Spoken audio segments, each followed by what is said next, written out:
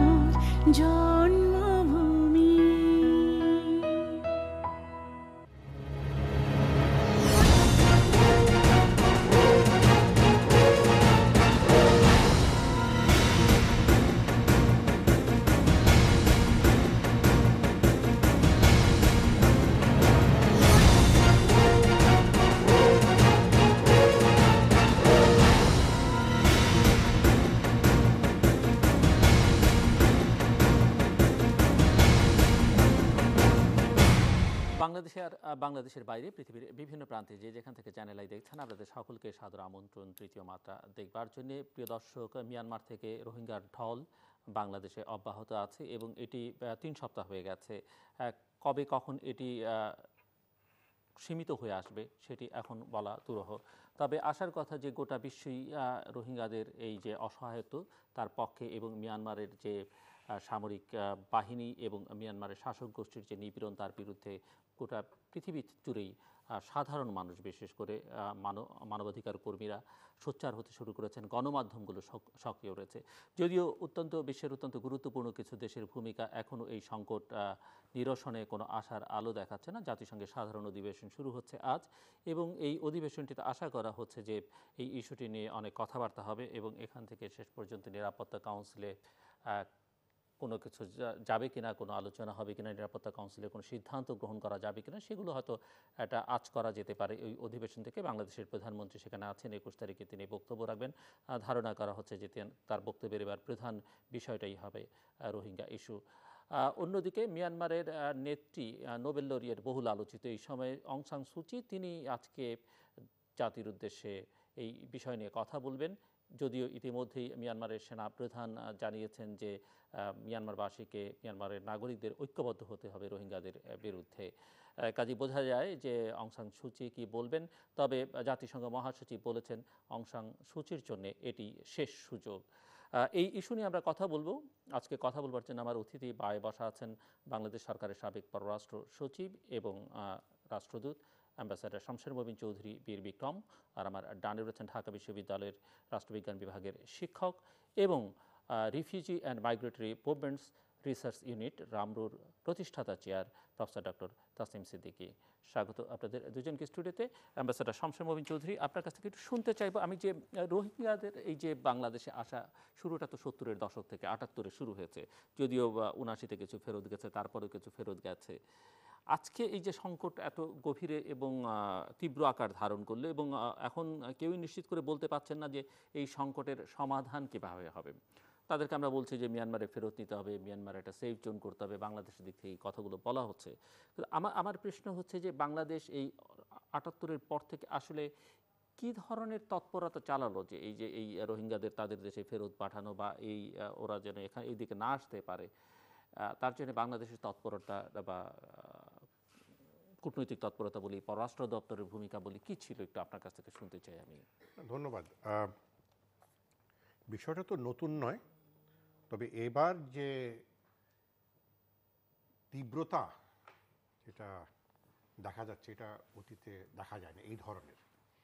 গত নভেম্বর মাসে এই ধরনের কিছুটা ঘটনা ঘটেছিল, ধর্ষণের ঘটনা ঘটেছিল, অগ্নিসংযোগের ঘটনা ঘটেছিল হত্যার ঘটনা ঘটেছিল।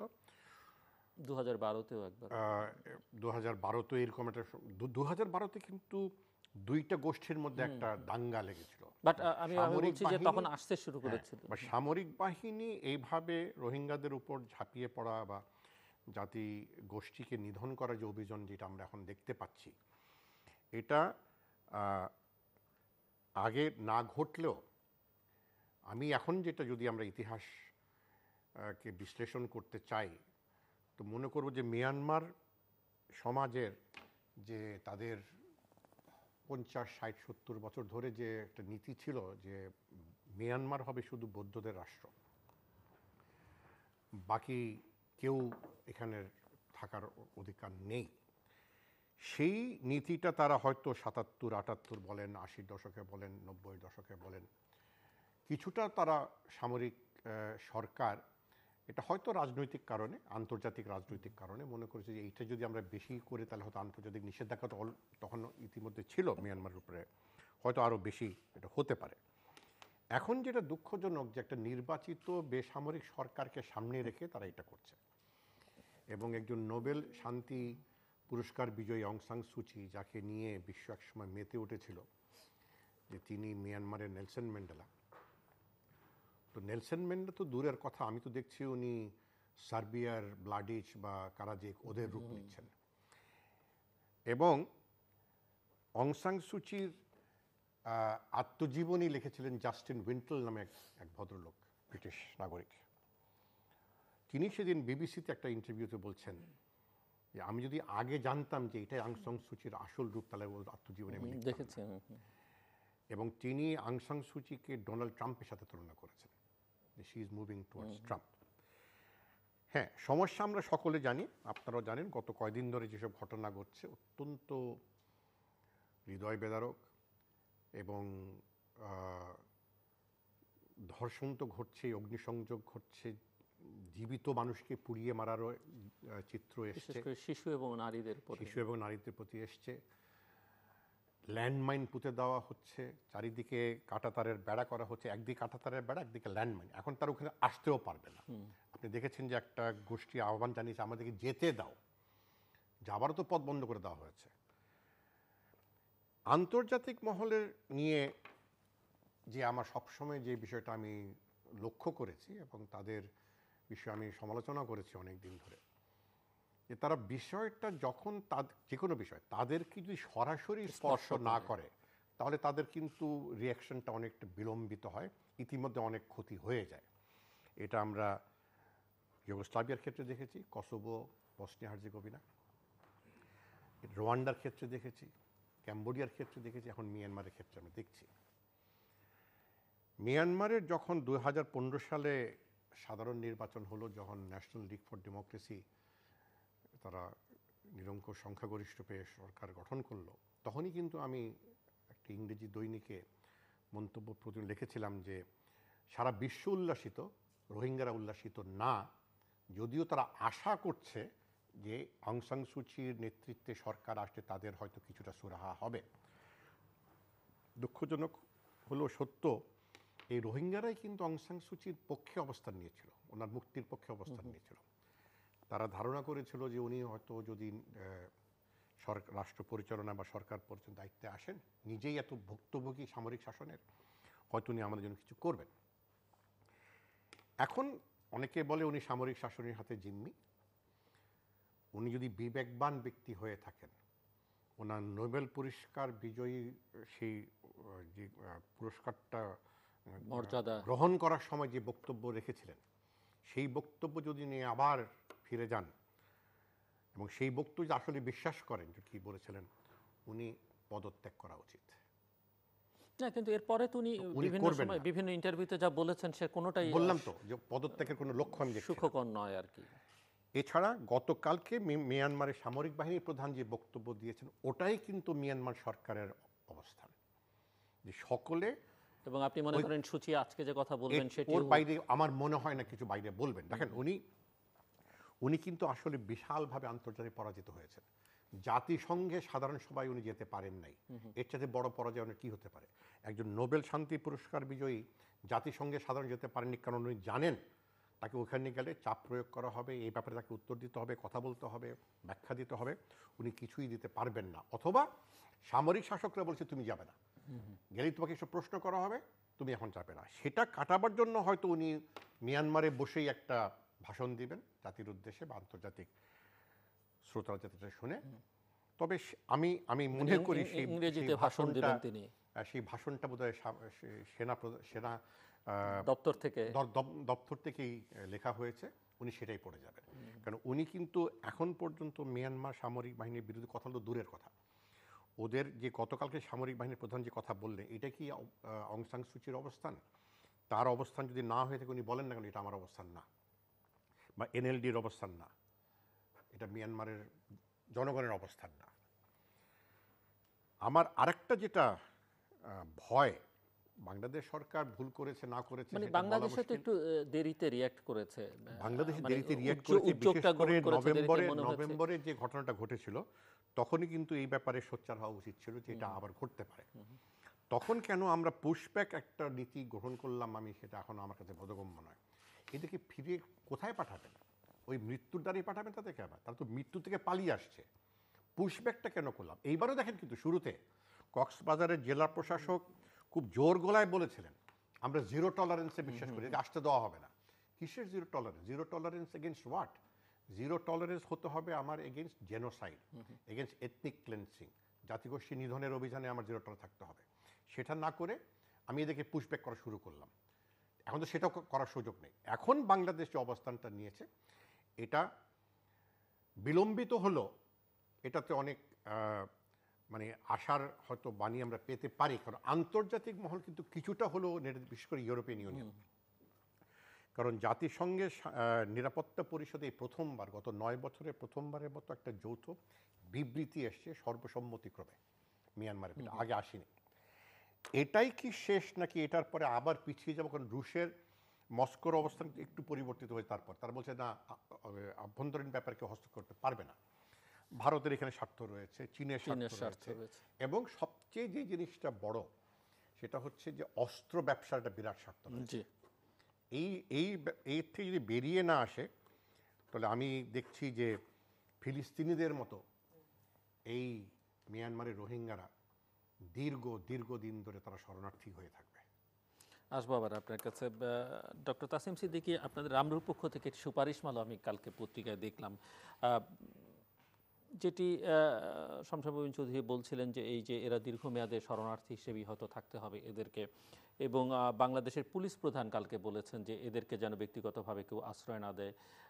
এদের সঙ্গে এমন কোনো ইসলামিক গোষ্ঠী বা কেউ যেন এদেরকে যদি ত্রাণ দেওয়ার নামে কোনো ধরনের কার্যক্রম বা সমর্থন আদায়ের চেষ্টা করে তাদের বিরুদ্ধে কঠোর ব্যবস্থা নেওয়া হবে এবং এরা আশ্রয় কেন্দ্রের বাইরে আসলে গ্রেপ্তার করা হবে। যদিও আমরা জানি যে আশ্রয় কেন্দ্রের বাইরে প্রচুর মানুষ এখন শরণার্থী এখন আহ, আশ্রয় কেন্দ্রে জায়গা পাচ্ছেন না। সব মিলিয়ে পরিস্থিতিটাকে আপনারা কীভাবে দেখছেন?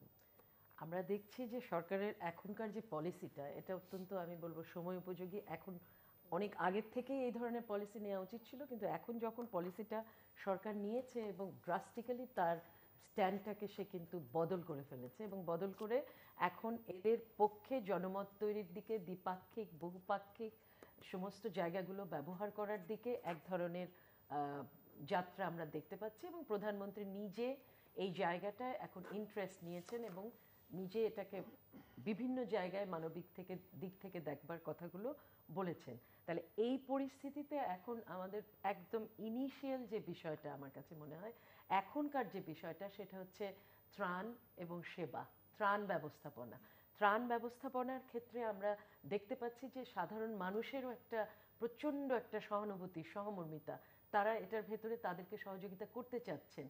অন্যদিকে আমরা দেখছি যে সরকারিভাবে এটাকে নিয়ন্ত্রণে নিয়ে একটা ত্রাণ ব্যবস্থা চালু রাখার ইয়ে করার একটা মানে সরকার চাইছে শুধুমাত্র সরকারি ব্যবস্থাপনায় এখন সরকারি ব্যবস্থাপনায় ত্রাণ ব্যবস্থা করার চেষ্টা করছেন এবং যে কোনো কাজই সরকার যেগুলো হাতে নিচ্ছেন এখন যদি এই যে কাজগুলো ঠিক কিন্তু কাজগুলোর করার ধরনটার ভেতরে অনেক বেশি পরিবর্তন ইমিডিয়েটলি প্রয়োজন। যেমন আমি যদি মনে করি যে বায়োমেট্রিক রেজিস্ট্রেশনের কথা যেটা এখন শুরু হয়েছে রেজিস্ট্রেশন ছাড়া রোহিঙ্গারা পরবর্তীতে খাবারের খোঁজেই হোক বাসস্থানের খোঁজেই হোক বিভিন্ন জায়গায় ছড়িয়ে যাবে এবং তাদের আত্মীয়তার সূত্র আছে সোশ্যাল নেটওয়ার্ক আছে, ছড়িয়ে যাবে। কিন্তু এইভাবে যে আমরা যে বায়োমেট্রিক রেজিস্ট্রেশন প্রতিদিন যদি পনেরোশো থেকে দু হাজার সম্ভব হয়, তাহলে আমরা এই চার লক্ষ লোককে রেজিস্টার করতে আমাদের চার বছর লাগবে। আমাদের হাতে কি সেই সময় আছে? নেই।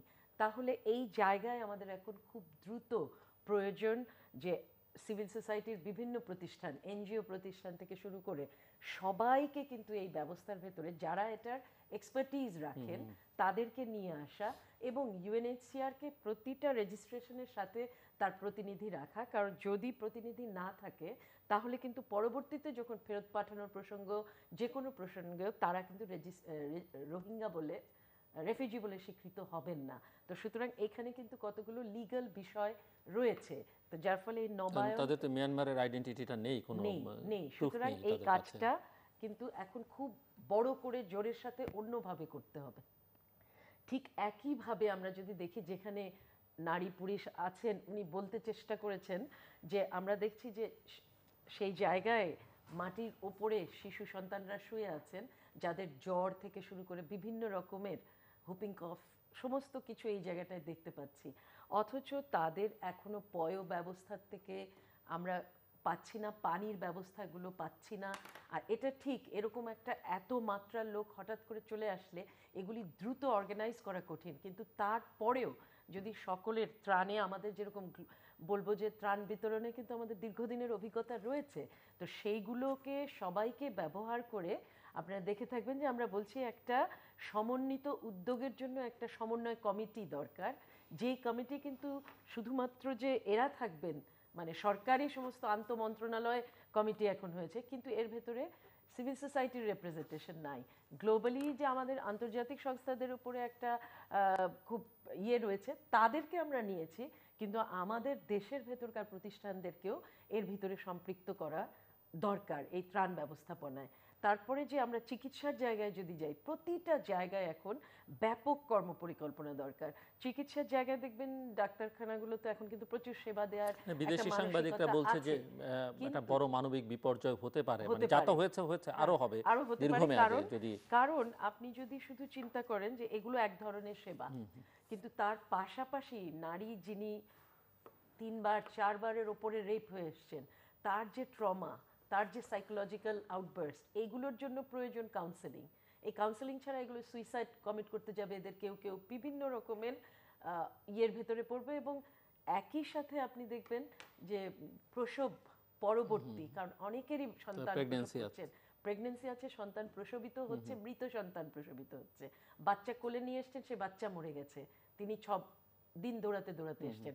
এইরকম অবস্থাগুলোতে কিন্তু মানে একেবারে যে কি বলব যে সাইকোলজির প্রচুর কাউন্সেলিং সেশন যেগুলো আমাদের দেশে ঢাকা কেন্দ্রিক, অমুক কেন্দ্রিক আছে, এদের সবার সাথে এক ধরনের যোগাযোগ তৈরি করা প্রয়োজন এবং তাদেরকেও সম্পৃক্ত করা প্রয়োজন।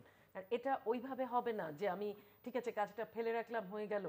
আর এখন মিডিয়া এত ওপেন আজকে আটাত্তরে অথবা নব্বইয়ে যেভাবে ক্যাম্পের আশপাশ থেকে হয়তোবা অনেক মহিলা বের হয়ে গেছেন, অনেক মহিলা ইয়েদের হাতে চলে গেছেন তাই না? যে আমাদের যে রয়েছে যে এখানে বিভিন্ন চক্র যারা নাকি নারী শিশু পাচার থেকে শুরু করে এবং যৌন হয়রানি এইসব জায়গাগুলো তো আগে অত নজরদারি ছিল না সম্ভব ছিল না মিডিয়া সেভাবে ছিল না। কিন্তু এখন মিডিয়া কিন্তু প্রতিটা জিনিস তুলে আনছে এবং তুলে আনবে। তাহলে সেক্ষেত্রে ম্যানেজমেন্ট সিস্টেম এমন হতে হবে যে এদেরকে দ্রুত আমাদের বিভিন্ন রকমের ক্যাম্পের ভেতরে নিয়ে যেতে হবে যাতে তাকে একটা ট্রাফিকার কোনোভাবে তাকে ধরে ইয়ে করতে না পারে। কোনোভাবেই যাতে তার এই রিস্কগুলো না আসে। আজকে বাইরের বিশ্ব যেভাবে এগিয়ে এসছে, যদি এই সব জায়গাগুলোতে আমাদের ঘাটতি থাকতে থাকে, তখন কিন্তু ডোনার ফেডিক এমনিতেই আসে, সেটা আরও ব্যাপকভাবে আসবে যে এটার ব্যবস্থাপনা ঠিক হচ্ছে না।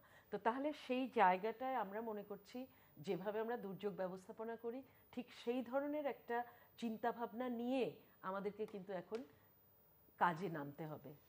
এবং ক্যাম্পগুলো সবাই তো ক্যাম্পে আশ্রয় পাচ্ছেন না। ফ্লো যে অনুযায়ী ক্যাম্প তো সেই অনুযায়ী তৈরি করা যাচ্ছে ক্যাম্প নাই। কিন্তু এখন বলা হচ্ছে যে বাইরেও তারা কোথাও যেতে পারবে না। মানে অন্য কেউ আশ্রয় দিতে পারবে না। তাহলে অসহায় মানুষগুলো কি করবে? মানে আপনার কাছে পরামর্শ চাইছি মানে বলার এই যা- যাকে আপনি ক্যাম্পে আশ্রয় দিতে পাচ্ছেন না তিনি বাংলাদেশের সীমানার মধ্যে ঢুকে পড়েছেন কিন্তু তাকে কোনো ব্যক্তিগতভাবে কেউ আশ্রয় দিতে পারবেন না।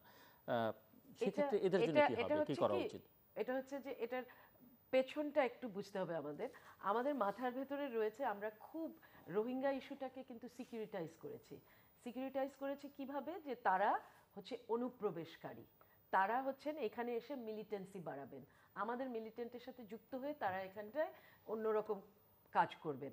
এই যে আমরা সিকিউরিটাইজ করেছি এটাতে, এটার ভেতর থেকে একটা মনের ভেতরে সকলের একটা চিন্তা ঢুকিয়ে দেওয়া হয়েছে, খুব ভালোভাবে ঢুকিয়ে দেওয়া হয়েছে যে এরা এখানে এসে বাংলাদেশের সিকিউরিটির একটা সমস্যা সেটা কি খুব একটা অমূলক চিন্তা মনে হয় আপনার কাছে? হ্যাঁ আমার কাছে অবশ্যই অমূলক মনে হয়। আমি কেন আমি বলব? কিন্তু আমি আগে বলে নিই সেই দিক থেকেই যে এই যে চেষ্টাটা হচ্ছে যে তারা যেন সাধারণ মানুষের ভেতরে না যেতে পারেন তারা যাতে এটা ঠিক যে তাদেরকে সাধারণ মানুষের ভেতরে রাখলে তাদের security will be at stake এটা আমরা মনে করছি। কিন্তু তারা সিকিউরিটি থ্রেট এটা আমরা মনে করছি না। তো সুতরাং তাদেরকে আগে ব্যবস্থা করা হোক, তাদেরকে ক্যাম্পের ভেতরে নিয়ে যাওয়া হোক, এটা আমরা সবাই চাচ্ছি। কিন্তু এদেরকে সিকিউরিটি থ্রেট হিসেবে চিন্তা করে যদি আমি কাজগুলো করি, কাজগুলো উল্টোভাবে আসবে এবং আসল ফলাফল এটা তৈরি করতে না। আমি কেন বলছি যে এটা সিকিউরিটি থ্রেট নয়? সেটা এই এই কারণে বলছি যে এটা ডিপেন্ড করে আপনার দেশে এইসবের এলিমেন্ট রয়ে গেছে, তাই না? আজকে যদি সিকিউরিটি থ্রেটের একটা জায়গায় আছে মিলিটেন্সি আরেকটা আছে ড্রাগ পাচার থেকে শুরু করে সব কিছুর ভেতরে আমরা তাদেরকে দায়ী করছি। কিন্তু আসলে ওই ড্রাগ যে আশা বা যা কিছু এটা কন্ট্রোল করছে ওইখানে বার্মিজ সেনাবাহিনী আর আমার এখানে কন্ট্রোল করছে হাই আপ ইন দি পার্লামেন্টে থাকা লোকজন। তাই না? তাহলে এদের কাজের ভেতরে এরা ফুট সোলজার সেই ফুট সোলজার কি জিনিস নিয়ন্ত্রণ করে? না রিং লিডাররা নিয়ন্ত্রণ করে। তো সেদিক থেকে আপনি তাকালেই বুঝবেন তারা সিকিউরিটির সমস্যা নয়। আপনার ভেতরে যে সমস্যাগুলো রয়ে গেছে, সেগুলো আপনার সমস্যা, আপনাকে ওই জায়গায় ধরতে হবে। এদেরকে যাতে কেউ ব্যবহার করে, তার ইনসিকিউরিটির সুযোগ নিয়ে তাকে কেউ ব্যবহার করতে না পারে। তাহলে কাজটা তো অন্য জায়গায়, কাজটা ওদেরকে চিহ্নিত করে না। আর সাধারণ মানুষের কাছে থাকতে যাচ্ছেন, যদি সরকার এই এই, এইভাবে কথা বলতে পারেন যে এই সাময়িকভাবে হয়তো আমরা সবাইকে একসাথে ক্যাম্পে নিতে পারছি না। সেখানে যদি কারোর বাসায় আশ্রয় নেন বা যা কিছু তাদের রেজিস্ট্রেশন তাদের নিবন্ধন এই কাজগুলো আপনারা করে রাখুন। পুলিশকে জানিয়ে- পুলিশকে জানিয়ে রাখুন যাতে পরবর্তীতে আমরা তাদের নিতে পারি। আর এই যে কথাগুলো আসছে যে গ্রেপ্তার যেখানে দেখা হবে তাদেরকে গ্রেপ্তার করা হবে এটা তো ঠিক আশ্রয় প্রার্থীর প্রতি যে মনোভাব সেটা নয়। যেটা প্রধানমন্ত্রী যে মনোভাব দেখিয়েছেন তার সাথে এটা মিলছে না। এটা মিলছে না এই কারণে কারণ দু বারো থেকে এই পর্যন্ত আমরা কিন্তু এর উল্টো মনোভাবটা প্রকাশ করেছি। সুতরাং এখন কথা বলতে গেলে ওটার থেকে ঝট করে বেরিয়ে আসতে পারছি না। কিন্তু আমার ধারণা অ্যানাদার মানে দশ পনেরো দিনের মাথায় এই টোনটাও বদলাবে। আবার বলছেন যে গ্রেফতার করে আসলে আবার শেষ পর্যন্ত হ্যাঁ, পুলিশ মানে ক্যাম্প ক্যাম্পে টোনটা অন্য টোনটা হয়তো ভীতির সঞ্চার করে। গ্রেফতার মানে ওদেরকে একটা থ্রেট না ওরা। টোনটা হচ্ছে আপনাদের বিপদ হবে সুতরাং আমাকে আপনাকে নিয়ে যেয়ে ওখানে রাখতে হবে। মিস্টার চৌধুরী, আপনি মনে করেন কি না যে এরা আসলে বাংলাদেশের নিরাপত্তার জন্য এটি বড় সংকট তৈরি করতে পারে? যেটি আসলে বহুল আলোচিত একটি বিষয় এবং এদেরকে আশ্রয় না দেওয়ার ক্ষেত্রে এই এই যুক্তিটি প্রধান হয়ে আসছে অনেকে তুলে আনছেন সামনে। দেখেন দুই হাজার দুই সালের সার্ক শীর্ষ সম্মেলনে কাঠমান্ডুতে তৎকালীন শ্রীলঙ্কার প্রেসিডেন্ট চান্দ্রিকা কুমারটুঙ্গা অসাধারণ একটি ভাষণ দিয়েছেন। তিনি বলেছিলেন যে টেরোরিস্টরা এলটিটি সৃষ্টি করেনি। টেরোরিস্টরা কাশ্মীরের বিচ্ছিন্নবাদী সৃষ্টি করেনি টেরোরিস্টরা হামাসকেও সৃষ্টি করেনি। হামাস সৃষ্টি হয়েছে আমাদের রাজনীতি বা আন্তর্জাতিক রাজনীতির কারণে। এলটিটি সৃষ্টি হয়েছে শ্রীলঙ্কার আভ্যন্তরীণ রাজনীতির কারণে। একই কথা উনি বলছিলেন এরা কিন্তু টেররিস্ট না। তবে জঙ্গি সংস্থা যে এদেরকে ব্যবহার করবে না সেটা উড়িয়ে দেওয়া যায় না। ব্যবহার করার আমা- আমাদের দেশের মানুষকে করছে কিন্তু সমূহ সুযোগ রয়েছে। তবে রোহিঙ্গারা না আসলে কি জঙ্গিবাদী এখানে আমরা দেখিনি? রোহিঙ্গারা না আসলে কি ইয়াবার ব্যবসা আমরা এখানে দেখিনি? এরা আসলে কি এরা বেড়ে যেতে পারে? আমার কথা হচ্ছে যে এদেরকে আপনি এরা আপনি আমরা যদি শুধু এফেক্টের উপরে ফোকাস দেই তাহলে কস্টটা কিন্তু আমরা এড়িয়ে যাচ্ছি। এড়িয়ে যাওয়া দিতে হবে কস্টটাকে যেটা কেন হচ্ছে? হামাস নামে তো কোনো সংস্থা বিশ বছর আগে ছিল না।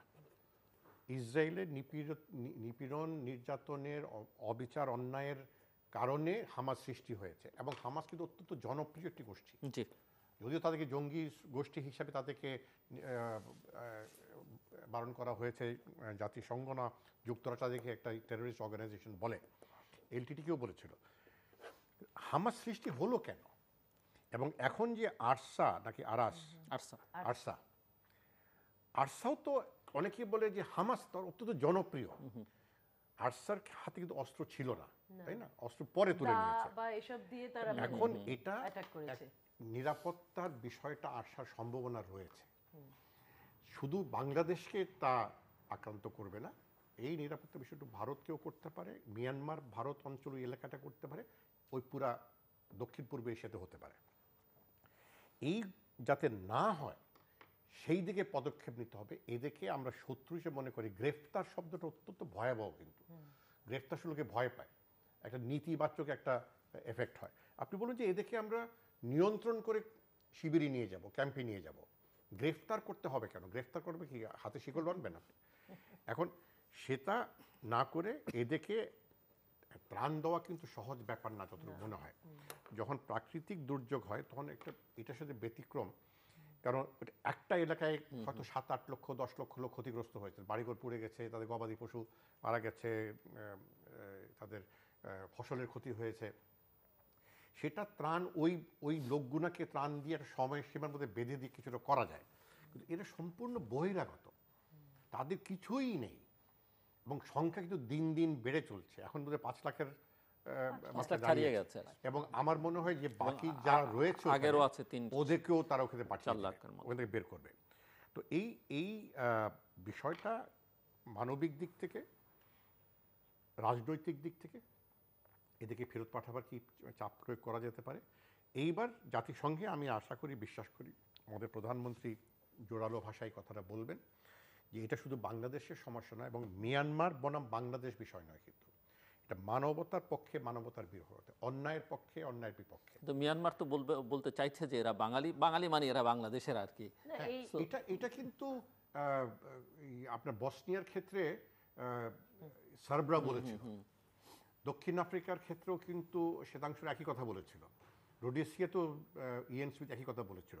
যখন আন্তর্জাতিক মহল একটা মতৈক্যে পৌঁছালো এরা সকলেই কিন্তু আমার আপনার কাছে প্রশ্ন হচ্ছে যে জাতিসংঘে আসলে কি হতে পারে? মানে জাতিসংঘে সাধারণত আলোচনা হতে পারে। আমি কিন্তু যেখানে যেখানে একটা কঠোর অবস্থান নিয়ে আছে। বা চায়না অবস্থান নিয়েছে। চা- চায়নার একটা অবস্থান চায়না যত কথাই বলুক অনেকে বিশ্বাসই করতে চান না যে মিয়ানমারের হ্যাঁ, বাইরে চায়না যাবে। এখানে আমার কথা হচ্ছে ভারতেরও একই রকম একটা এক- অবস্থান। এক সাধারণ সবার থেকে আপনি সবকিছু পেয়ে যাবেন সেটা আশা করাটা ঠিক হবে না।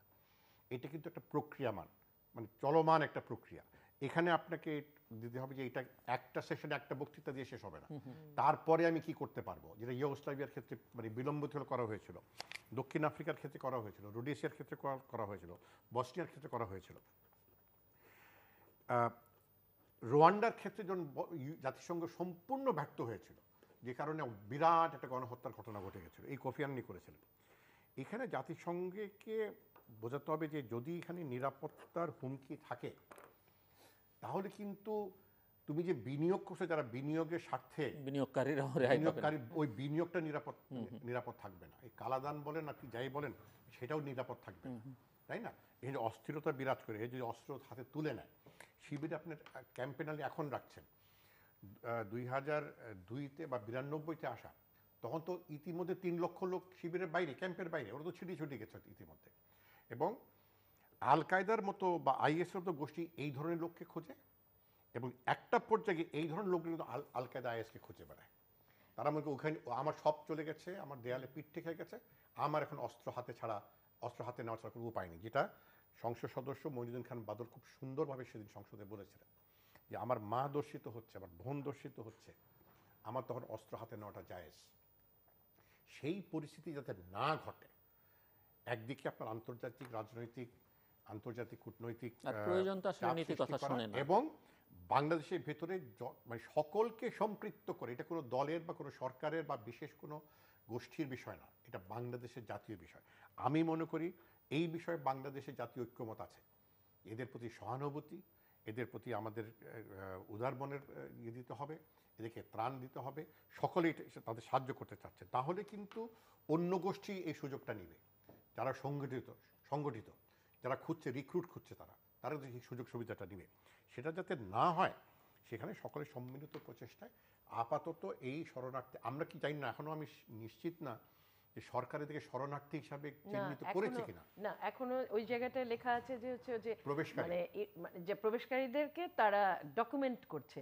আর আমরা দাবি করেছি যে এটাকে এই ডকুমেন্টেশনকেই রেফিউজি স্ট্যাটাস বলে স্বীকার হ্যাঁ, করে নেওয়া হোক। অনুপ্রবেশকারী এবং শরণার্থী সম্পূর্ণ হ্যাঁ, শরণার্থী হিসেবে। স্বীকৃতিটা এখনও আসেনি হ্যাঁ। সেটাই দাবি করছি কিন্তু আমার ধারণা ইউএনএ যেহেতু এই প্রসঙ্গগুলো আসবে আমার মনে হয় আলটিমেটলি হ্যাঁ, অনুপ্রবেশকারী হচ্ছে ইনফিল্ট্রেটর রাইট এটা ইনফিল্ট্রেটর না। ইরেগুলার মাইগ্রেন্ট ইলিগাল মাইগ্রেন্ট অনেক কিছুই নামে বলতে তাদের বৈধ বৈধতা নিয়ে প্রশ্ন দাঁড়িয়ে যায়। শরণার্থী হলে কিন্তু জাতিসংঘের উনি যেটা বললেন যে জাতিসংঘের এবং আন্তর্জাতিক মহলে একটা সম্পূর্ণ ভিন্ন বর্ণনা ভিন্ন সংজ্ঞা তো সেই সংজ্ঞার দিকে আমাদেরকে যেতে হবে শরণার্থী হিসাবে কিন্তু চিহ্নিত করতে হবে। তাহলে কিন্তু আপনি এই বিষয়টাকে আরও জোরালোভাবে মানে বিষয় করতে পারেন। মানে এরা এরা যে রোহিঙ্গা আমি দেখলাম যে একটি পত্রিকা রিপোর্ট যে এরা রোহিঙ্গা সেটি ওই কার্ডের মধ্যে নেই। দেখে অনেকে কার্ড নিতে চাইছেন না যে তার আইডেন্টিটি এখানে মেনে তারা ওই আইডেন্টিটিটাকেই সবচেয়ে বড় করে দেখতে চান তাদের রোহিঙ্গা আইডেন্টিটিকে এবং সেটা নিয়েই কিন্তু বার্মিজ সরকারদের সরকারের সাথে তাদের যে অনেক দ্বন্দ্ব তাকে প্রাথমিক পর্যায়ে রোহিঙ্গা আইডেন্টিটিটাই তারা দিতে রাজি নন বাঙালি আইডেন্টিটি দিয়ে রাখতে চান।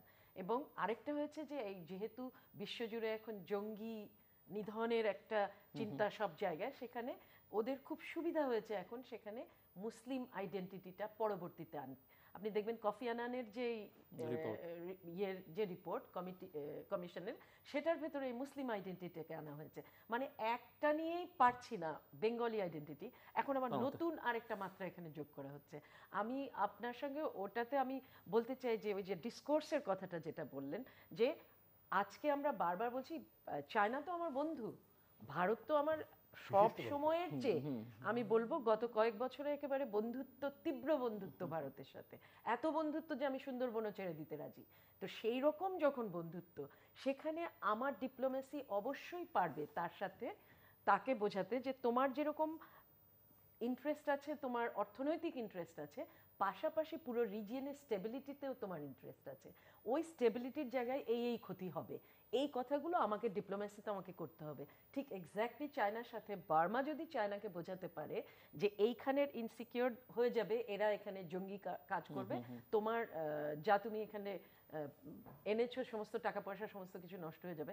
তাহলে বাংলাদেশের ডিপ্লোমেসি চায়নাকে গিয়ে কেন বোঝাতে পারবে না? যে দেখো আসলে ওটা হবে না এটা করলে ওটা হবে। তো এটা হচ্ছে কন্টিনিউয়াস ডিপ্লোমেসির কাজ কন্টিনিউয়াস পড়াশোনার কাজ। আমি একটা কথা এখানে বারবার বলতে হবে যে এটা কিন্তু খুব সহজ ডিপ্লোমেসি নয়। সুতরাং এই জায়গাটায় প্রয়োজন। আপনি যদি এটাকে আমরা আজকে গণহত্যা বলতে চাই তাহলে সেখানে আমার পড়াশোনা দরকার। আমাকে কিন্তু আমার একাডেমিয়াকে কিন্তু সুযোগ করে দিতে হবে যে তাদেরকে এটা কিন্তু দায়িত্ব শুধু সরকারের নয় আমরা এখন অনেকেই অনেক কথা বলছি কিন্তু আমাদেরকে প্রয়োজন এখন তাহলে এটা ইন্টারন্যাশনাল ক্রিমিনাল কোর্ট বা এইখানটায় যে আমাদের যে রোম স্ট্যাটিউট এইগুলি সমস্ত পড়াশোনা করে যে এটা যে একটা গণহত্যা এটা যে এথনিক ক্লিনজিং এই সমস্ত জিনিসগুলোর তথ্য উপাত্ত সরকারের কাছে তুলে ধরা। হ্যাঁ আবার একইভাবে যে এর যে ইতিহাসের দিকটা বারবার যে ইতিহাসের দিকটা বলা হচ্ছে যে এটা এই আটাত্তরের প্রবলেম তা তো নয়।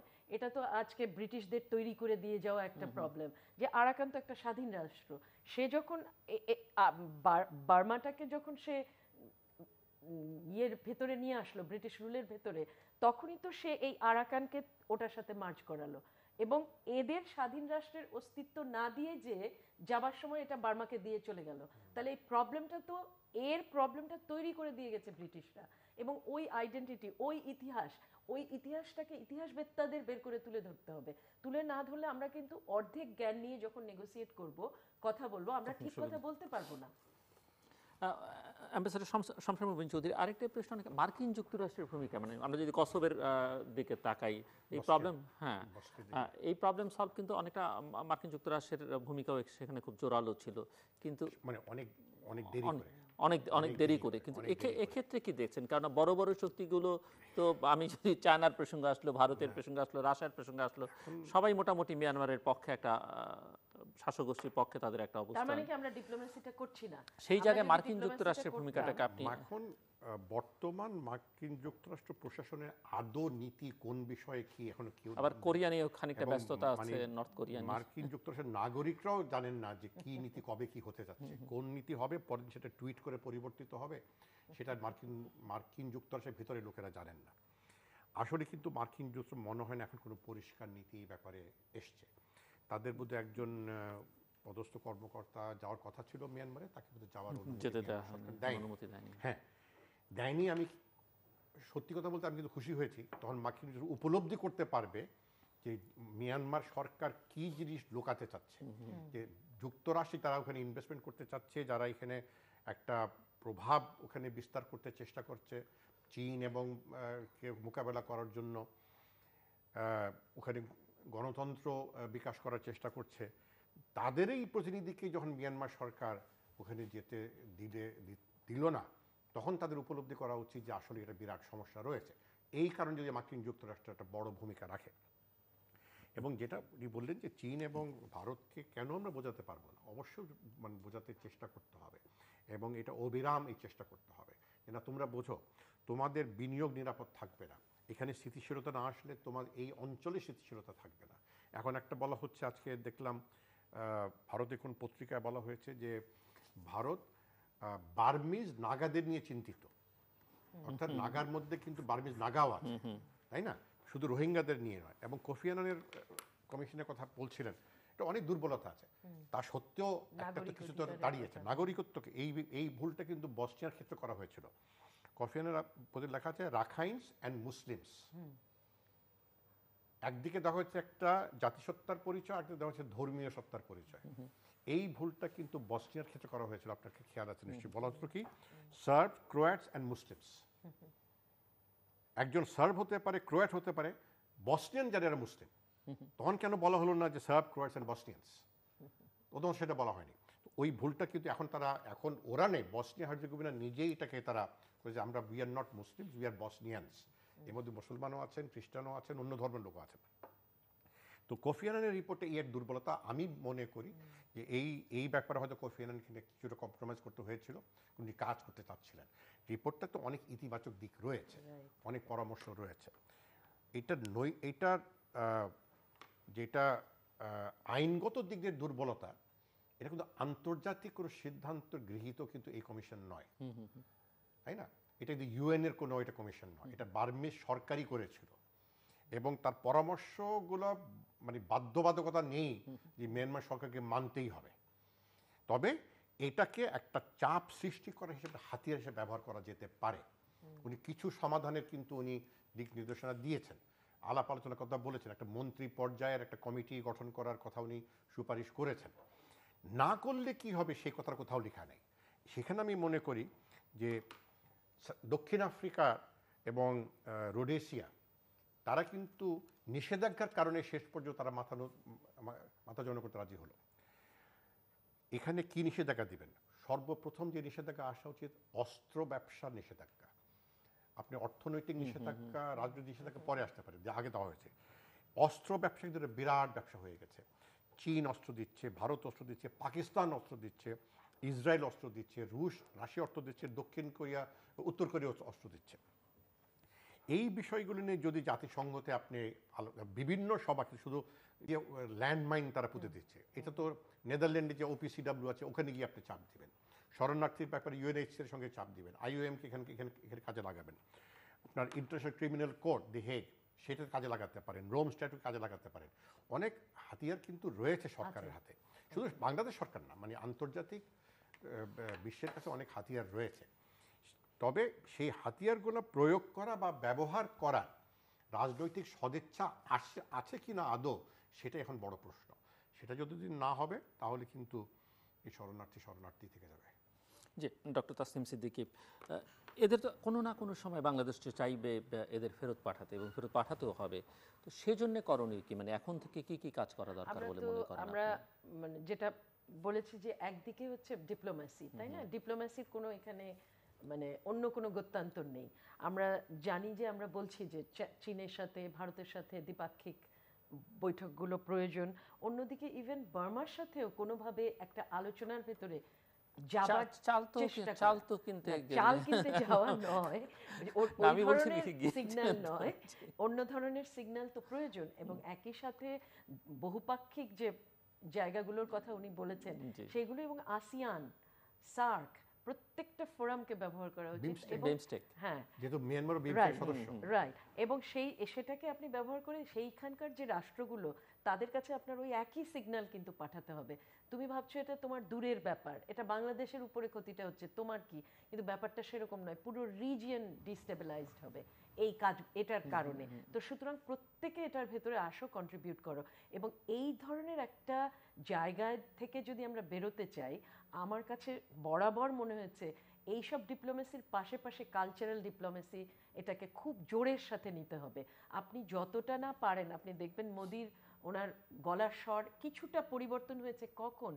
যখন মানুষ ভারতে ওইখানকার মুসলমান সম্প্রদায় যখন কথা বলে উঠেছেন এবং তখন কিন্তু আপনার পশ্চিমবাংলাতে পশ্চিমবাংলা সরকারকে তখন কিন্তু একটা স্ট্যান্ড নিতে হয়েছে। তাহলে রাজ্যের সঙ্গে কেন্দ্রীয় সরকারের যে একটা দুই রকম হতে পারে তাহলে প্রতিটা জায়গায় এই মানুষকে সহমর্মিতা আনতে এই কালচারাল একটা ইয়ে থাকতে পারে। এবং যদি ল্যান্ড মাইনিং থেকে শুরু করে আমরা যদি অন্য যা কিছু আছে যেটাকে ভিত্তি করে আমাদের গ্লোবাল যে সেলিব্রিটিরা তারা এই জিনিসগুলো নিয়ে কন্টিনিউয়াস ক্যাম্পেইন করে চলছেন, ওই মানুষগুলোকে ধরে আনতে হবে এবং তাদেরকে এই মানে এটা যে জেনোসাইড এটা যে বন্ধ করতে হবে, এই জায়গাটায় তাদের ব্যাপক মবিলাইজেশন লাগবে। আপনি বাংলাদেশের স্বাধীনতার কথা চিন্তা করুন, একদিকে যুদ্ধ হয়েছে, কিন্তু অন্যদিকে গান তৈরি হয়েছে। তাই না? অন্যদিকে এই যে জর্জ গান হ্যাঁ, করেছেন, বব। ডিলানের গান তৈরি হয়েছে। আপনি যদি এই সমস্যা এত বড় এত গভীর এত তীব্র এটার যদি সমাধান করতে চান ঠিক ওই ধরনের কালচারাল মোবিলাইজেশন ছাড়া এটা সম্ভব নয়। কারণ যে কেউ মানে ওই ভিয়েতনাম ওয়ারে যেই ধরনের একটা মানে মন তৈরি করেছিল সিক্সটিজের পিস মুভমেন্ট ওই ধরনের বিষয়ের দিকে বাংলাদেশ কাজ করবে কিনা করতে পারবে কিনা করতে চাইবে কিনা আমার মনে হচ্ছে চাইবে আমার ওটা এটার যে ফেটিগ আসবে আমার মনে হচ্ছে না। এই এর কতগুলো আবার পজিটিভ দিক আছে? সেই পজিটিভ দিকগুলোর কারণে গ্লোবাল লিডারশিপে নিজের জায়গা তারপরে হচ্ছে যে বিভিন্ন জায়গায় নিজেকে একটা পজিটিভ রোলে আনা নোবেল পুরস্কারও পেয়ে যেতে পারি যদি চাই। সমস্ত কিছু যদি আমি চিন্তায় রাখি তাহলে কিন্তু আমার পজিটিভলি এটা মুভ করার একটা বিভিন্ন রকমের ইম্পেটাস কিন্তু এখানটায় আছে। কেউ কেউ- কেউ মনে করেন যে এক ধরনের সামরিক একটা তৎপরতা, ঠিক আক্রমণ নয় বাট নিজেদের উদ্যোগ বা তাদেরকে বোঝানো দরকার মিয়ানমারকে যে আমরা খুব একটা দুর্বল নেই। তাদের হেলিকপ্টার মাঝে মাঝে ঢুকে পড়ছে বাংলাদেশের সীমানায়। বাংলাদেশ জাস্ট একটা প্রতিবাদ করছে বা হাই কমিশনারকে ডেকে কিছু বলছেন। এর মধ্যেই সীমাবদ্ধ। কেউ মনে করেন ওই এলাকায় একটা সামরিক মহড়া জাতীয় কিছু একটা করা দরকার। বিশেষ করে প্রাক্তন সেনা কর্মকর্তাদের অনেকেই বলছেন। সামরিক বাহিনী যখন বাংলাদেশে রয়েছে তাদের তো সামরিক বিষয়ের দিকে নজর দিতেই হবে। সমস্যা যেটা তাসলিম সিদ্দিকি বললেন যে বহুমুখী সমস্যার জন্য এটা বহুমুখী সমাধান খুঁজে বের করতে হবে সাংস্কৃতিকভাবে। মানে বহুমুখী পথে চেষ্টা করতে হবে, বহুমুখী পথে এটাকে আপনাকে চেষ্টা করতে হবে অব্যাহত রাখতে হবে। সেখানে আপনি আন্তর্জাতিক মহলকে কীভাবে আপনি এখানে তাদের ফ্যাটিকটা যাতে না আসে কীভাবে আপনি সামনে রাখেন। এখন যে সামরিক মহড়ার কথা আপনি বলছেন এটা কিন্তু মানে কিছুটা হলো একটা ঝুঁকিপূর্ণ পদক্ষেপ থাকতে পারে। কারণ মিয়ানমার সরকার যে সামরিক প্রস্তুতি আপনার ভয় পাবে তেমন কোনো মানে কথা বিশ্বাস করার কোনো কারণ নেই। কারণ ওদের সামরিক বাহিনী আমাদের সাথে অনেক বড়। ওদের মিসাইল স্ট্রেন্থ আমাদের প্রায় তিন গুণ ওদের। তো ওরা সামরিক প্রস্তুতি ওরাও কিন্তু যদি সামরিক প্রস্তুতি নেয় আমার কেন জন্য মনে হচ্ছে এই লোকগুলো আরও বেশি ক্ষতিগ্রস্ত হবে। ঠিক আছে তারপরে বাংলাদেশও একটা লন্ডন একটা ইয়ের ভিতরে পড়ে হ্যাঁ, যাবে। আপনি সামরিক প্রস্তুতি নিলেন এটা আবার কখন আবার মানে এটা ফেরে আনবেন কখন আবার তাই না? কি পরিস্থিতিতে আপনি উইথড্র করবেন তো সেটা তো চিন্তা বাইরে। চলে যাবে এটা। বাইরে চলে যেতে পারে। মানে চেয়ে ওই বড় কথা উস্কানিতে যে- পানা দেয় হ্যাঁ ঠিক ঠিক আছে এখন তারা হেলিকপ্টার দিয়ে আকাশ সীমা লঙ্ঘন করছে এই ব্যাপারে শুধু মানে মৌখিক প্রতিবাদ জানানো হচ্ছে। এর সাথে সাথে বোধহয় আরও কিছু হয়তো জানি না আমি হচ্ছে কিনা জানি না সব খবর তো গণমাধ্যমে আসে না। যে আরও কিছু কঠোর তাদেরকে মানে সতর্ক করে দেওয়া হচ্ছে কিনা। দেখো আমরা কিন্তু এর বেশি আমরা আর সহ্য করব না। একসময় আমরাও কিন্তু একটা শক্ত অবস্থান নিব। মিয়ানমার সরকার এখন যা তাদের যে মনোভাব দেখছি বিশেষ করে সামরিক বাহিনী আপনি দেখেন এই কোফি আনান যে কমিশনটা গঠিত হলো সেটাকে কিন্তু প্রথমেই তাদের জাতীয় সংসদে এটাকে যেন বাতিল করা হয় একটা প্রস্তাব পাশ করা একটা প্রস্তাব দেওয়া হলো। সেই প্রস্তাবটা পাশ হয়নি গৃহীত হয়নি। তবে সেই সেইটা বাতিল করার পক্ষে সামরিক বাহিনী যে পঁচিশ শতাংশ সংসদ সকলেই কিন্তু এটা এটা বাতিল করার পক্ষে ভোট দিয়েছিলেন এবং আরাকান ন্যাশনালিস্ট পার্টি যেটা এরাও কিন্তু এবং রাখাইনের যে স্থানীয় যে সংসদ এটা এখা- এখানে কিন্তু আনান কমিশনকে তারা বাতিল করে দিয়েছে অর্থাৎ এখানে কোনো গ্রহণযোগ্যতা নেই। তো মিয়ানমারের ভিতরে কঠোর অবস্থানটা অত্যন্ত আহ, শুধু দুঃখজনক বলব না নিন্দনীয়। এই বিশ্ব বর্তমান যুগে এই ধরনের একটা মানে মৌলবাদী সাম্প্রদায়িক চিন্তা চেতনা এটা গৌতম বুদ্ধ যদি জানতেন তাহলে নিশ্চয়ই মানে মানে খুব কষ্ট পেতেন। কারণ এই বৌদ্ধ ধর্ম আমরা জানি শান্তির ধর্ম। সব ধর্মই শান্তির ধর্ম কিন্তু বৌদ্ধ ধর্মটা বিশেষ করে শান্তি ধর্ম বলা হতো। প্রাণহানি হতে ঘটতে পারে না অনেক কিছু করতে পারে না দালাই লামা বলেছেন দালাই লামা বলার পরে তোরা যে বৌদ্ধদের নেতা বা ওইটা চেনেই না। মানে মিয়ানমারের ওদের রিয়াকশন হচ্ছে is he? হ্যাঁ হুইজ হি বললাম না যে এই যে তারা বিশ্বকে তোয়াক্কা করে চলছে তা তোয়াক্কাই করে না বিশ্বকে। আমার যেটা ইচ্ছা আমি করবই। সেখান থেকে আপনি বেরিয়ে আসবেন আপনার কূটনৈতিক প্রচেষ্টা সবচেয়ে বড় চ্যালেঞ্জ কিন্তু সেখানে। যে মিয়ানমার যে অনর এই অনর অবস্থান থেকে তাদেরকে কীভাবে আপনি মানে পরিবর্তন আনতে পারবেন সেটা বাংলাদেশ একা পারবে না। এখন বাংলাদেশ কীভাবে সে আন্তর্জাতিক কূটনৈতিক মানে প্রচেষ্টা চালাতে পারে অব্যাহত রাখতে পারে আরও জোরালো করতে পারে। আমার মনে মানে হয় তার জন্য আপনার আপনার পরামর্শ কি? এটি কি ওই যে ডিপ্লোমেটদের ডেকে একটা ব্রিফ করা বা এটা তো হচ্ছে চিঠি চিঠি দেওয়ার। মধ্যেই সীমাবদ্ধ থাকলে না, চলবে না কি না না কি অবশ্যই না অবশ্যই না। এটা একদম পলিটিক্যাল লেভেলে নিতে হবে আপনাকে। টেলিফোন কল টেলিফোন কলে চলে যেতে হবে এখন। টেলিফোন কলে যাওয়ার সময় এখন এখন এসে গেছে কিন্তু। আপনি ব্রিফিং করলেন ব্রিফিং তারা একটা রিপোর্ট পাঠিয়ে দিল তাদের ক্যাপিটালে এটা কি পড়ল বা পড়ল না জানিও না। গণমাধ্যমের ভূমিকা। আমাদের বাংলাদেশের গণমাধ্যমের ভূমিকা আন্তর্জাতিক গণমাধ্যমের ভূমিকা। আল জাজিরা কিন্তু এটাকে প্রাধান্য দিয়ে যাচ্ছে এবং সিএনএন আমি বলব। বিবিসি সিএনএন সবাই সিএনএনও আমি বলব এটা কিন্তু একদম almost like second top news ওই তাদের ইরমা ঘূর্ণিঝড়ের পরেই কিন্তু এই খবরটা এসছে। কোনো কোনো সময় আরও এটাকে আরও আগে প্রাধান্য পাচ্ছে। অবাক হবেন ব্যাংকক পোস্ট। ব্যাংককে এটা কী ধরনের গণমাধ্যম এটা এটা এটা ইয়ে পাচ্ছে প্রাধান্য পাচ্ছে? এবং এই যে দশজন বিশেষ বিশিষ্ট ব্যক্তি স্বাক্ষর করেছেন এবং দুজন কিন্তু ব্যাংক থাইল্যান্ডের সাবেক পররাষ্ট্রমন্ত্রী। এবং ব্যাংকক পোস্টে কিন্তু সম্পাদকীয় বলেন মন্তব্য প্রতিবেদন বলেন সব কিছু কিন্তু তারা আংসাং সুচিকে বলছে ইনি একটা ভণ্ড। ইনি আসলে কিন্তু নোবেল পুরস্কার শান্তি পুরস্কার পাওয়ার যোগ্য নয়। এর ব্যাংকক কিন্তু থাইল্যান্ড কিন্তু একটা বৌদ্ধ রাষ্ট্র। মানে মানে বৌদ্ধ সংখ্যাগরিষ্ঠ রাষ্ট্র। এখানে আমি একটু বিস্মিত হচ্ছি পাকিস্তানের তরফ থেকে তেমন কিছু আমরা শুনিনি এখন পর্যন্ত। এই ব্যাপারে। জোরালো কোনো বক্তব্য পাকিস্তান থেকে আসেনি।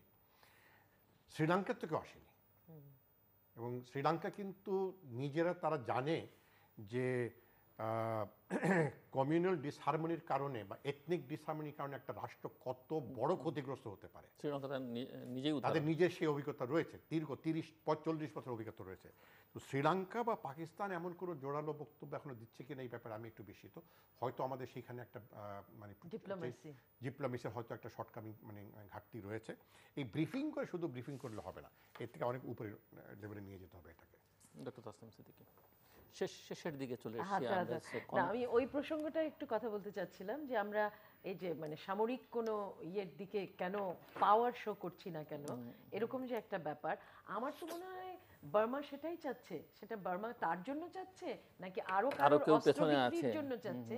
আমরা কিন্তু এই জায়গাটায় আমি মনে করছি সরকারের যে স্ট্যান্ডটা এটা কিন্তু অনেক বিচক্ষণ একটা স্ট্যান্ড যে তারা এই জিনিসটাতে কিন্তু এই ইয়েতে তারা সাড়া দিচ্ছেন না।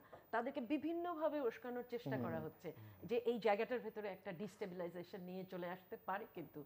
তো সেই দিক থেকে আমি বলব এটা ঠিক। তবে আমার কাছে আরেকটা জিনিস এই সাথে সাথে মনে হয়েছে যে এই যে দীর্ঘদিন ধরে বার্মার যে সামরিক বিল্ড আপ হয়েছে, তখন আমরা ওই জায়গায় আমাদের সামরিক যারা এক্সপার্ট আছেন, বিভিন্ন কিছুতে সামরিকদের আমাদের, আমরা যদি চিন্তা করি আমাদের বাজেটে আমাদের সমস্ত কিছুতে যেভাবে সামরিক খাতে বিনিয়োগ আমরা করেছি, সেখানে এই যে এই এই দিকটা যে এইভাবে দাঁড়িয়ে যাচ্ছে, সেটার ভিজাভি আমাদের মিলিটারি ইন্টেলিজেন্স এগুলো নিয়ে চিন্তা করে নিজেকে সেভাবে তৈরি করেনি কেন? কারণ এই টাকা পয়সা কিন্তু তাদের কাছে গেছে। সেই টাকা পয়সা তারা আর্মির মেডিকেল কলেজ বানাচ্ছেন ইঞ্জিনিয়ারিং ইউনিভার্সিটি বানাচ্ছেন তারা যে জিনিসগুলো বানাচ্ছেন সেগুলো সিভিলিয়ান জিনিস সমস্ত।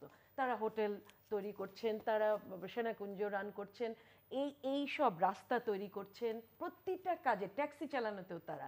তাহলে তাদের তো একটা বিশাল ভূমিকা ছিল এই জিনিসগুলো আমাদের কাছে জানানোর যে এইভাবে বিল্ড আপ হচ্ছে এবং সেই জায়গায় আমরা, ঠিক আছে, আমরা আর্মি বিল্ড আপ করব না অন্য কোনো রকমের চিন্তায় যাব, অন্যভাবে আমাদেরকে তৈরি করব, আমরা সেই ডিবেট কখনো শুনিনি।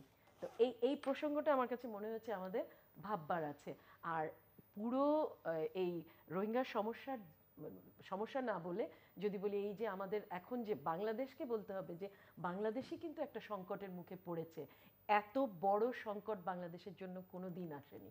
এটা এমন একটা জিনিসকে বাংলাদেশকে হ্যান্ডেল করতে হবে, সেটা কোনো দিক থেকে একটু ভুল হলেই কিন্তু সেটা একটা ডিজাস্ট্রাস পরিণতির দিকে যাবে। মানে আগুন নিয়ে খেলার মতন একটা অবস্থা। তো সেই জায়গায় আমি আবারও বলব, যেমন ত্রাণ ব্যবস্থাপনায় এদেরকে সেবা দেওয়ার ক্ষেত্রে বাইরের প্রতিষ্ঠানের পাশাপাশি দেশীয় যে নলেজ সেটাকে ব্যবহার করা, সকলকে জায়গা করে দেওয়া এটাতে পার্টিসিপেট করার এবং সকলে মিলে আমরা একটা কথা দিয়ে শুধু বলতে পারি, আমরা বারবার বলছি তিরিশ হাজার আছেন ক্যাম্পে আর দুই হাজার বারোর পর থেকে বা তার একটু আগের থেকে তিন লক্ষ লোক মানুষের মাঝে ছড়িয়ে আছেন।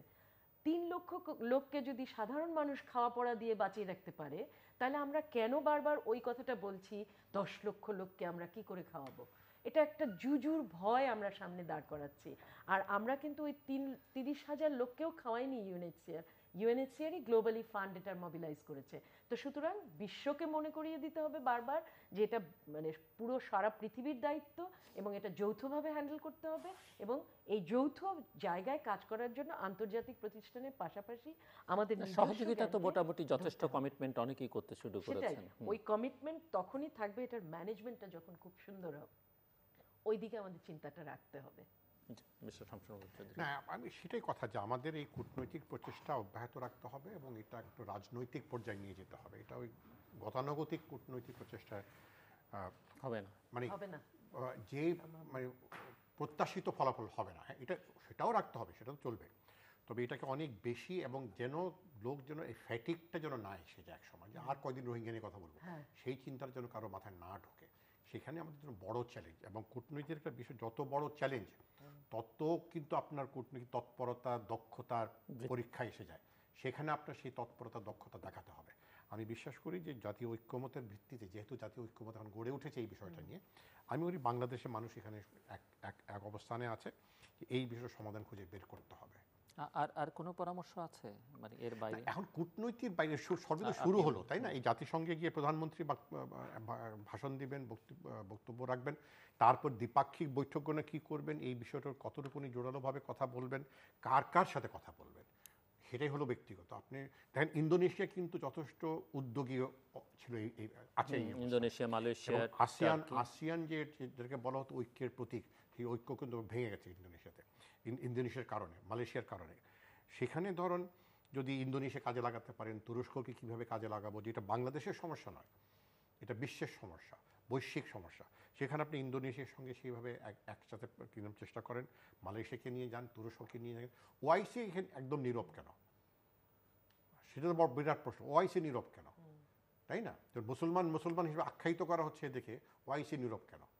সেই বিষয় কেন নীরব? এই প্রশ্নটা আপনাকেই করি আমি। আমি তো ওআইসি তো ওআইসি তো আসলে তারা সি করছে আর কি। তারা মানে ওই তারা মা- মা- মা- মাহাথির যেরকম একবার বলেছেন ও আইসি ওআইসি ওটা তারা এটা এখানে কিন্তু সিভিল সমাজ বিশ্বের সিভিল সমাজের কিন্তু একটা জায়গা আমরা দেখছি এবং শুধু তাই নয় ইন্টারন্যাশনাল ক্রিমিনাল কোর্টের অধীনে হ্যাঁ। যে এখন যে একটা ইয়ে হচ্ছে ট্রাইব্যুনাল হচ্ছে আহ, মালয়েশিয়াতে এবং সেখানে টার্কির থেকে শুরু করে একেবারে বিলাত ইউরোপ সমস্ত জায়গা এবং বাংলাদেশ সব জায়গার থেকে গিয়ে কিন্তু এটা একটা গণহত্যা এবং এটা একটা ওয়ার ক্রাইম এটা স্টেট ক্রাইম এটার ভিত্তিতে একটা জিনিস কিন্তু হচ্ছে। এবং এইটা মনে করি এই ধরনের কাজ যেটা ইন্টারন্যাশনাল ক্রিমিনাল কোর্টের আওতায় যে একটা কজি লিগাল একটা জায়গা থেকে এরকম একটা জাজমেন্ট দেয়া হবে বার্মার এই কাজের উপরে এইগুলোকেই সরকারকে পরবর্তীতে ব্যবহার করতে হবে। ইউরোপিয়ান পার্লামেন্ট কিন্তু যথেষ্ট তারা এই ব্যাপারে উদ্যোগ নিচ্ছে তারা। মানে সক্রিয় ভূমিকা তারা পালন করার চেষ্টা করছে। এটা অত্যন্ত ইতিবাচক জিনিস। ইউরোপিয়ান পার্লামেন্টের কিন্তু ভয়েসটা যথেষ্ট গুরুত্ব পায় বিশ্বে সবখানে গুরুত্ব পায়। যুক্তরাজ্য কিন্তু যদি তারাই সমস্যাটা সৃষ্টি করেছিল এখন কিন্তু যুক্তরাজ্য খুব একটা ইতিবাচক ভূমিকা এখানে রেখেছে তাই না? যুক্তরাষ্ট্র হাইকমিশনার এখানে এবং তার সরকারও আহ, এই- বিষয়ে নিয়ে কথা বলেছেন। তো এইটাকে ধারাবাহিকভাবে ধরে ধরে ধরে রাখতে হবে। এখানে কোনো মানে ছাড় দেওয়ার কোনো মানে এখন এখন আরেকটা বড় চ্যালেঞ্জ যেটি আপনারা দুজনই বলছেন যে ধারাবাহিকভাবে এটা চালিয়ে যেতে হবে। কিন্তু গণমাধ্যমের সামনে বা বিশ্ব রাজনৈতিক বাস্তবতায় অন্য কোনো ইস্যু সামনে এসে পড়লে এটি হারিয়ে যাওয়া। আর বাংলাদেশ তো ধীরে ধীরে একটা নির্বাচনের দিকে এগুচ্ছে। সেখানেও আরেকটা না না সমস্যা তো অনেক রয়েছে। সমাধান অনেক মানে এখনও এটা কঠিন পথ। তবে কঠিন পথ অতিক্রম করাটাই কিন্তু আপনার রাষ্ট্রের প্রজ্ঞার পরিচয়। দর্শক, আমরা অনুষ্ঠানের শেষ প্রান্তে তৃতীয়মাত্র সম্পর্কে আপনারা লিখতে পারেন, ডাকে ইমেল এস এম এস এর মাধ্যমে ইন্টারনেট আমাদের অফিসিয়াল ওয়েবসাইট অথবা সোশ্যাল মিডিয়াতে যেসব পেজ রয়েছে, সেই সব পেজে আপনারা আপনাদের মতামত রাখতে পারেন আর আপনারা আপনাদের মতামতে আমাদের অনুষ্ঠান তৃতীয় মাত্রা আপনি দেখতে পাবেন প্রতি বৃহস্পতিবার এবং শুক্রবার বাংলাদেশ সময় রাত দুটোয় বুধবার এবং শুক্রবার বাংলাদেশ সময় দুপুর দেড়টায় দেখবার আমন্ত্রণ তৃতীয় মাত্রা এই পর্ব আপনি সামাজিক যোগাযোগ মাধ্যম ফেসবুকও সরাসরি দেখতে পারেন। এর বাইরে এই পর্ব সহ পুরনো পর্বগুলো দেখবার জন্য যে কোনো সময় ভিজিট করতে পারেন তৃতীয় মাত্রা ডট কম এবং ফেসবুক গুগল প্লাস টুইটার এবং ইউটিউবের তৃতীয় মাত্রা যে পেজ রয়েছে, সেসব পেজে প্রফেসর ডক্টর তাসনিম সিদ্দিকী এবং অ্যাম্বাসাডার শামসুল চৌধুরী, অসংখ্য ধন্যবাদ আপনাদের দুজনকে। দর্শক, কথা হচ্ছিল রোহিঙ্গা ইস্যু নিয়ে এবং এই সমস্যা দীর্ঘ থেকে দীর্ঘ পথ পাড়ি দিতে হবে বাংলাদেশকে সমাধানের জন্যে। কাজেই কূটনৈতিক তৎপরতা যেগুলো হয়েছে সেগুলো ভালো, ওনারা কেউ খারাপ বলছেন না, কিন্তু আরও অনেক বেশি তৎপর হতে হবে আরও বেশি সক্রিয় হতে হবে এবং দীর্ঘমেয়াদে এই তৎপরতা চালাতে হবে। এই সমস্যাটা খুব দ্রুত সমাধান হবে সেরকমটি ওনারা মনে করেন না। গ্রেফতার শব্দটি, যেটি গতকাল উচ্চারিত হয়েছে একজন পুলিশ, বাংলাদেশ পুলিশ প্রধানের মুখ থেকে, এটি এটি নেতিবাচক শব্দ। এই শব্দটিকে ওনারা সমর্থন করেন না এবং ওনারা মনে করেন যে সরকার যে কাজগুলো করছে সেগুলো মোটামুটিভাবে ঠিক আছে, কিন্তু কাজের ধরন অনেক বদলাতে বদলাতে হবে এবং ডক্টর তাসিম সিদ্দিকী যেটি বলছে যে নিরাপত্তা সংকট বলে যে জুজুর ভয় দেখানো হচ্ছে, এটিকে উনি সমর্থন করেন না এবং এটি আসলে সংকটকে অনেক ক্ষেত্রে বাড়িয়ে তুলতে পারে এবং একটা অমানবিক আচরণ করা হবে এটি মনে করেন এবং অ্যাম্বাসাডার শমশের মবিন চৌধুরী বলছেন যে ইফেক্টের উপর ফোকাস না করে কস্টটাকে কারণ এই সমস্যার কারণটা কি, সেটি আসলে চিহ্নিত করা দরকার এবং সমস্যার সমাধানের জন্য সে পথেই এগুনো দরকার। এই সমস্যার খুব দ্রুত সমাধান হচ্ছে না, কাজেই যারা এই শরণার্থী হিসেবে আছেন তাদের শরণার্থী হিসেবে বিবেচনা করা দরকার এবং তার জন্য যে মানবিক সহায়তা, সহযোগিতা দরকার বাংলাদেশের পক্ষ থেকে সেটি বাংলাদেশকে করতে হবে এবং তারা যেন নিরাপদে নিশ্চিন্তে মিয়ানমারে ফেরত যেতে পারে। সেই ব্যবস্থা আন্তর্জাতিকভাবে মিয়ানমারের উপরে চাপ প্রয়োগ করে করতে হবে। দর্শক, আমাদের সঙ্গে থাকবার জন্য অসংখ্য ধন্যবাদ। আপনাদের সবার জন্য শুভকামনা।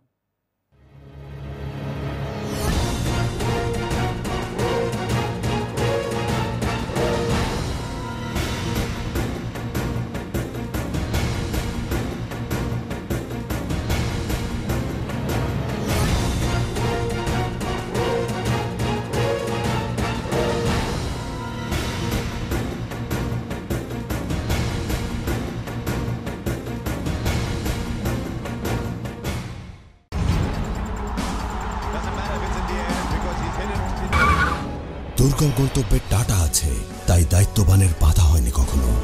এদেশের রাস্তা ও বিভিন্ন প্রয়োজন বুঝে নিটল মোটরস বাজারজাত করছে টাটা মোটরসের বিভিন্ন ট্রাক, বাস ও পিক নির্ভরতা ও আস্থায় Tata Nitol motors limited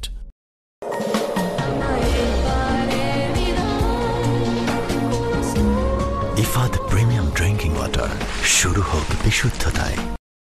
এতক্ষণ দেখলেন তৃতীয় মাত্রা। পরিবেশিত হল Nitol Tata BSP Cambrian school and college, Ifad multi products limited, OSCL এবং দি এশিয়ান এইজের সৌজন্যে।